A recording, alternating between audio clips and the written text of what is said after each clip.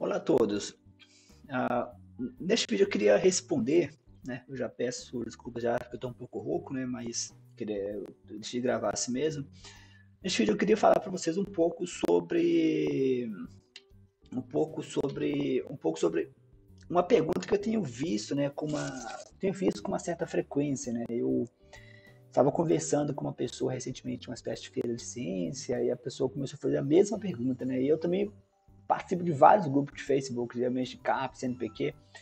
Eu vejo, eu vejo a pergunta se repetindo também, se às vezes através de discussão, às vezes através de opiniões, né? Você vê que.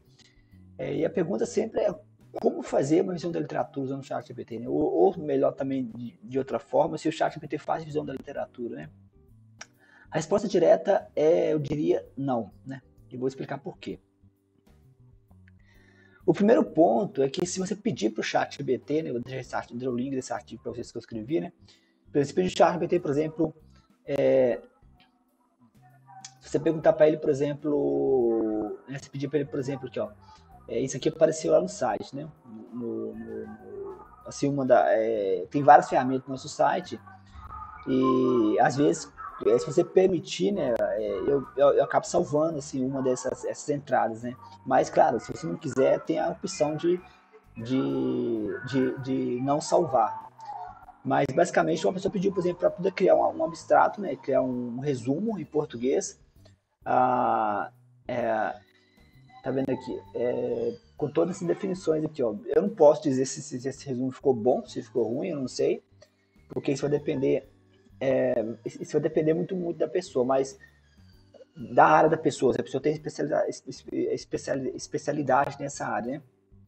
Mas, por exemplo, aqui, se você pega aqui, por exemplo, é, se você pega, se pega, por exemplo, aqui é, as referências, né, que ele dá, também ele dá, teoricamente ele faz, né? Teoricamente ele está aqui, né, teoricamente mas a revisão ela, ela é pequena, né? Nunca, o ChatGPT nunca fazia uma revisão grande, né? Que ele tem seus limites, né? Mas aí sim, vou explicar melhor mais para frente é, essa questão. Mas observa que ele deu aqui as referências, tá vendo? Ele deu aqui as referências, né? E, e se você observar, é, por exemplo, essa referência aqui, ela existe, né? Ela, ela, ela tá um pouco, né? Que as, não, é, é, engraçado, essa vez não tá abrindo, mas eu já tinha aberto, né?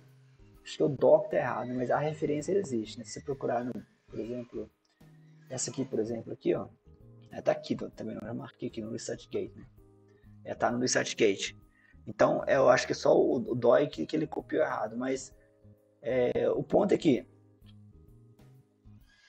é, o ponto é que o vai mas se você pega a referência tem alguns errinhos né pontuais porque o ChatGPT na verdade ele não busca de forma determinística ele busca de forma estocar então assim se você pedir o ChatGPT para fazer revisão da literatura ele vai fazer né? Mas o problema é o seguinte, que muito provavelmente ele vai criar algumas referências né, que é, vai talvez inventar. Não, não sei se a palavra correta seria inventar, né? Porque basicamente algumas vezes existe, mas ela vai ter, vai ter algumas distorções, né? Vai ter alguns erros, né? Talvez muito parecido com o humano, né? Quando você vai fazer revisão da biografia, geralmente a gente também comete esses erros, talvez às vezes de errar o nome da pessoa. Mas no caso do ChatGPT acontece porque cada palavra que ele gera é probabilístico, né?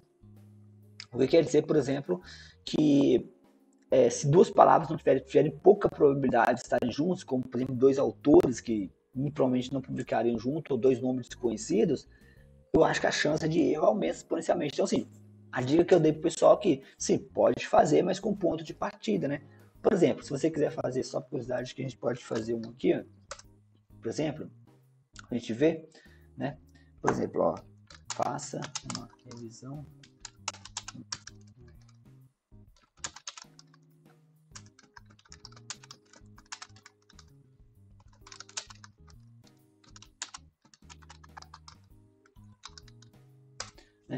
fazendo.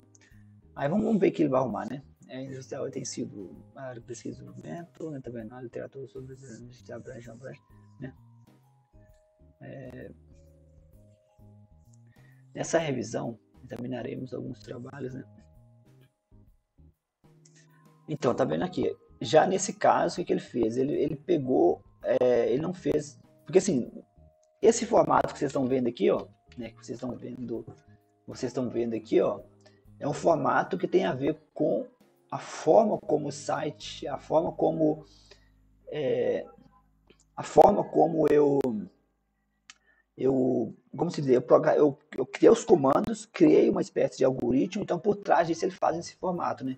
Que é basicamente isso. Mas é, o, o, o, foco principal desse, dessas ferramentas, na verdade, não é que o chat GPT faça para você, né? Tá vendo aqui, o técnico, né, ele fez, é, fez um, um formato diferente do formato que eu estou usando aqui, né, que eu estou fazendo aqui, mas resumindo, é, o ChatGPT, na verdade, um, na minha visão, a melhor aplicação dele é você fazer referência, exame tudo em conjunto com ele, né? Por exemplo, as ferramentas que está disponibilizada no, no jovempescador.com, você precisa de, de, usar uma entrada, né? Geralmente essa entrada é o quê? É, comentário seu, né? Sobre uma, um artigo e mais o artigo. Então, o chat, na verdade, ele faz essa revisão da literatura eh, que gente que gera lá no, no software, mas ele se baseia no que você fez, né? Ou seja, a tarefa de coletar, de documentar é feita por você. Agora, essa ideia de que o chat vai sozinho fazer revisão da literatura, assim, coisa e tal, eu acho muito perigosa, né? Porque, primeiro, o chat GPT só vai até 2021, né? O conhecimento dele é temporário, do tempo de vista de tempo, ele é limitado, só vai até 2021.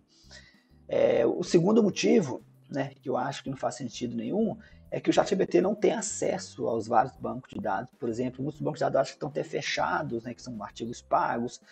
É, então, assim, tem a questão de tempo no 2021, tem a questão de que ele não tem acesso, e tem também um terceiro ponto, que eu acho mais importante ainda, que o ChatGPT não faz busca, né? As pessoas acham que o ChatGPT faz busca na internet não faz busca, né? Então, assim, é, para você fazer uma boa visão da literatura, é interessante que você que, que aquela, aquela referência que está fazendo seja precisa, determinística, né? Porque não faz sentido você colocar uma probabilidade de citar ou não alguém, né? Ou citar ou não um nome, né? A citação é uma probabilística. Então, assim, é, a minha dica é você, se for fazer revisão de literatura com o ChatGPT, que use isso mais como uma ferramenta de ponto de partida. Talvez ele gere uma revisão de literatura com um pedaço para você e você trabalha aquilo para adicionar, melhorar e checa as referências, né?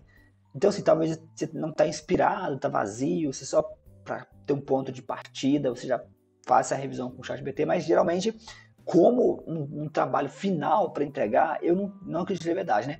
O que acontece às vezes é que o ChatGPT ele permite que você construa em cima dele. Então, acho que tem muitas pessoas que estão prometendo, eu vejo isso muito no Twitter também, a já promessa de escrever a dissertação inteira, a tese inteira. Eu não vi realmente se funciona. É, funciona aquele seguinte, se funciona de forma correta, né? Que funcionar assim, de gerar um punhado de palavras e tudo mais, ele vai fazer. Né? Isso não tem muito, né? Eu até, eu até tenho um, um e-book né, na Amazon, no qual eu discuto o uso do chat GBT é, para gerar texto acadêmico. E mesmo antes do chat GBT já havia uma ferramenta aqui, esqueci o nome dela, né? Ficou famosa, que gerava artigos aleatórios que pareciam artigos de verdade, mas os artigos eram, eram aleatórios, as figuras eram aleatórias. Só que quando você olhava o artigo, parecia artigo de verdade. E, artigo, e muitos artigos foram aprovados. Né? Então, assim, se já uma ferramenta dessa, totalmente estocástica, conseguisse, aleatória, sem nenhuma inteligência, conseguiu ter artigo aceito em algumas revistas e passou como artigo, então, muito provavelmente, o ChatGPT consegue fazer muito melhor. Mas meu ponto é que o, eu não acho que o ChatGPT deve ser usado para fazer revisão de literatura sozinho. Então, o que as pessoas estão fazendo muitas vezes é criar em cima por exemplo, o ChatSonic. Né? O ChatSonic é, é pago, então não pude usar muito. Eu usei mais o demo, não pude usar muito, mas o ChatSonic parece que ele é uma versão melhorada, né? E o que tem acesso à internet, né? Nesse caso, eu precisaria de um segundo software para ficar fazendo busca na internet e usar essas buscas para fazer revisão. Então, assim, seria uma espécie de crawler, né, que vai buscando na internet, no Google, então muitos já, já existem esses softwares que fazem isso, mas o ChatGPT não faz, o ChatGPT não tá, está conectado à internet. Então, ele vai, se você pedir para ele fazer uma coisa, ele faz, né? Faz da literatura, ele vai fazer revisão da literatura. Só que a questão aqui é que para ele ele não tem como saber, né, que aquilo está correto, né? Que o trabalho dele é só escrever. Então, assim, isso tem sido feito também em outras áreas, como matemática, né? que no caso as pessoas estão usando o ChatGPT junto com outros softwares mais poderosos, porque você pedir para ele fazer por exemplo, regressão, eu já fiz isso, ele faz, mas está errado, né? Ele faz o valor, o valor errado, porque ele faz o que você pede. Então, assim, é, é, então, assim, a minha dica é essa, né? Não use o chat GPT sozinho, né? Para fazer literatura. Ou você usa o tipo de ferramenta que está no meu site, pesquisador.com, é, no qual é feito em conjunto, né? É, só por curiosidade, vou mostrar para vocês aqui, já que a gente está aqui curiosidade, vou mostrar para vocês aqui só por curiosidade, né? O tipo de. Tá no site aqui, né? O tipo de que eu quero dizer, né? Aqui, ó, usando literatura. Então, basicamente é isso que eu quero dizer. Então, em vez de, de, de dar para ele, por exemplo, um comando, né? Faça revisão de literatura, tá? Nesse caso, eu acho que uma das melhores estratégias para vocês é vocês mesmos fazerem. Por exemplo, aqui é um exemplo clássico, né? Eu tenho aqui uns, uns cortes né, de artigos, é, são inventados, mas seria mais ou menos assim, se eu lesse os artigos, seria mais ou menos assim, né? E você vai, tá vendo aqui, ó? E você vai, é... E você vai... Eles são cortes, né? Que eu faria, entre aspas, indicando que é citação direta. E e esse, essa é a resposta dele, que é uma resposta boa, entendeu? Ele basicamente ele, organizou um conjunto de de ideia em torno de um, um texto, né? Então, se você fosse fazer. Por que revisão da literatura? Basicamente, você vai ler vários textos, você vai separar os textos, você vai separar as referências, que é de documentação, você vai juntar tudo e vai fazer um texto coerente. Então, essa parte de juntar, né, você pode fazer. E você joga no chat BT, né? As ferramentas do meu site tá, servem para isso. E você gera essa, essa esse pedaço de revisão de literatura, que ele vai ter um limite, né? o limite dele é em torno de, de mil, acho que é 1.400, dá mais ou menos 1.400 palavras, 1.500 palavras, mas se você for fazer uma coisa maior, tem que fazer várias vezes, né? Talvez no futuro eu crie um software que faça de forma automática, mas qualquer software que prometa para você que ele faz isso, ele faz isso de algum truque ali por trás, né? Mas se você repetir, por exemplo, é, mais de uma vez, é, você vai ver que ele gera resultados é, diferentes, né? alguns melhores, alguns piores, né? mas é, que é um algoritmo estocástico. Né? Mas resumindo, né? a resposta é: o chat vai ter faz revisão da literatura sozinho, não. Né? Um dia você fala, me dá revisão da literatura em tal coisa, e vai te entregar o artigo pronto. Mas você pode usar ele como é, ferramenta para te ajudar a fazer a revisão da literatura, ou você pode usar alguma ferramenta que eu não consigo lembrar alguma, agora que eu não tive acesso ainda a algumas ferramentas que faz algum tipo de busca, mas, mas eu acho muito complicado, porque para fazer uma literatura justa, o, o software teria de ter acesso a revistas que muitas delas estão fechadas, né? Muitas delas nem têm acesso aberto. Então, eu tenho minhas dúvidas, pelo menos no momento, que da situação atual, de que uma literatura do chat GPT seja realmente confiável por dois motivos. Primeiro que o chat mesmo, é, mesmo que ele consiga fazer busca na internet você tem que tomar cuidado para que não fique viesada a, revisar a, a literatura. E segundo, também tem o fato também de que não necessariamente você vai ter acesso aos artigos, né? Então, como o chat vai fazendo literatura se ele não tem acesso ao artigo? Então, eu tenho meu, meu eu não tenho visto alguma, alguma ferramenta ainda que faça, apesar de que o ChatGPT já é um potencial enorme para isso. Então, no geral, eu aconselho que use como suporte, não aconselho que use para fazer revisão completa.